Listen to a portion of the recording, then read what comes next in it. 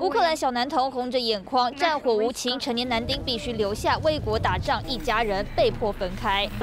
当地人大包小包，狼狈往安全地方避难。火车站被挤得水泄不通，因为俄罗斯军队入侵，乌克兰人民流离失所。根据联合国难民署统计，有超过五十万难民涌向邻近国家。尽管台湾跟乌克兰地理距离八千公里，但台湾人热血援助没有距离。立法院跨党派立委集合起来，喊出。台湾能帮忙。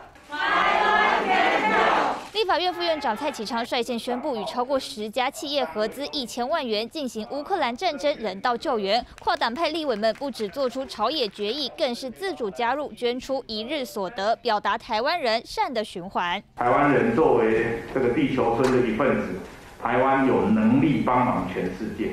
台湾人很愿意帮忙全世界，这个就是台湾跟全球连结，叫这个叫善的循环。朝野立委抛砖引玉，外交部宣布加速建立捐款专户，让台湾人的爱心可以真正的捐到需要的单位。会协调卫福部，我们还有外管相关的这个要收收受这个善款的这个机构，来尽快把这个手续完成，因为这样子我们可以。